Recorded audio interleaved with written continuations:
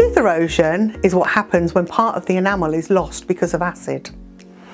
This can be acid either from our diet, things like citrus fruits or fizzy waters, or it can also come from stomach acid when we have things like acid reflux or are sick. Whenever the enamel on your teeth comes into contact with anything acidic, it becomes softer for a while and loses some of its minerals. If these acid attacks happen too often, then the tooth doesn't have chance to repair itself and as the enamel erodes, the dentine below it will show through.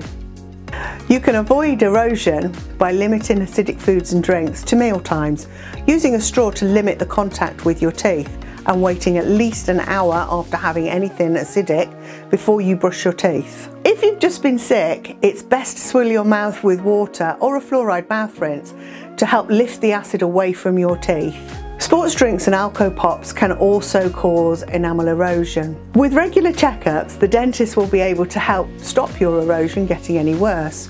You might also be prescribed an antacid or a high fluoride toothpaste to help you. Learn more about erosion by visiting our website or by calling our helpline for free impartial advice.